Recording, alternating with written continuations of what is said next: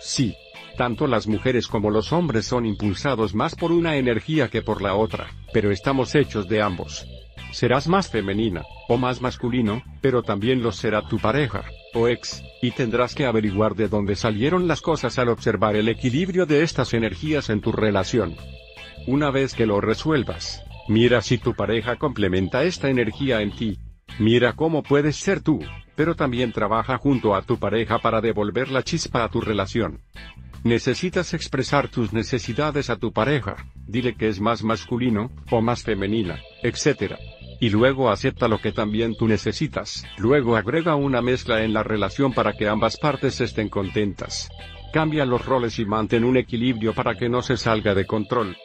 Si le agradas cuando eres femenina, sé femenina. Si cuando eres masculino, sé masculino, y permítele que se haga cargo de vez en cuando, pero debes decirle cuando sientas que sucede demasiado seguido, o te sentirás frustrado. La comunicación es clave cuando se aborda este problema. Tienes que jugar con ambas energías y averiguar qué funciona mejor para ustedes dos. Esto luego crea esa chispa, esa atracción cuando sientes que tus necesidades individuales se vuelven a encontrar, en lugar de sentir frustración. Entonces, ¿cómo intensificar la atracción con tu ex, y devolver la chispa a tu relación? 1. Enfócate en ser amable. Si tiene hijos, por ejemplo, o ves a tu ex en el trabajo, sé amable con él o ella, habla de las necesidades, pero no te excedas ni lo hagas de forma personal. Sonríe y sé amable, no te esfuerces por actuar y sé natural. 2. Debes mantener las cosas informales.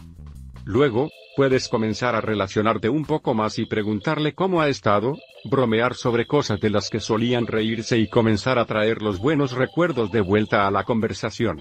Recupera esa chispa pero mantén las cosas informales. Mantén conversaciones cortas y positivas. 3.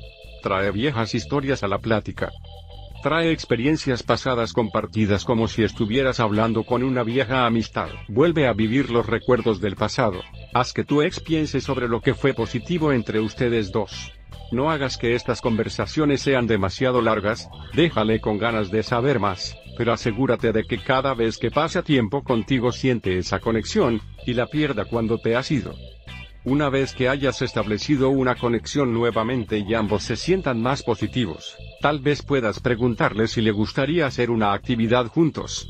No hagas que parezca una cita, manténlo informal en todo momento, pero reprograma a tu ex para que te asocie con recuerdos positivos nuevamente.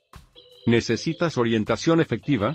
Haz clic al enlace de aquí abajo para ver los pasos a seguir, sobre cómo realmente recuperar a tu ex sin cometer errores en el proceso. Haz clic ahora y salva tu relación. Suscríbete, comenta y comparte el video. Un placer. Gracias.